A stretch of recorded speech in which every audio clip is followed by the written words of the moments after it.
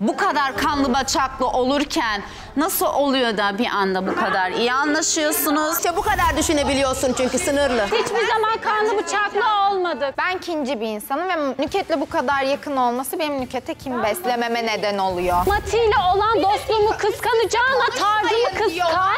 Tarzımı kıskan belki sana bir faydan olur. Onun tarzını kıskanacağım hiçbir durum yok. Güldürüyorsun.